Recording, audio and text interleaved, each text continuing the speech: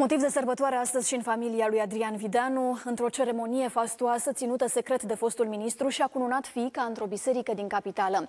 La eveniment au fost invitați oameni importanți din mediul de afaceri, dar și de la vârful politicii românești. La 24 de ani, Diana Videanu este la prima căsătorie. Nu și soțul ei, avocatul Bogdan Bălan, cu 10 ani mai în vârstă, care a mai fost căsătorit odată. Nunta vine la mai puțin de un an de la moartea fostului iubit al Dianei Videanu, care a fost răpus în octombrie 2016 de o boală gravă.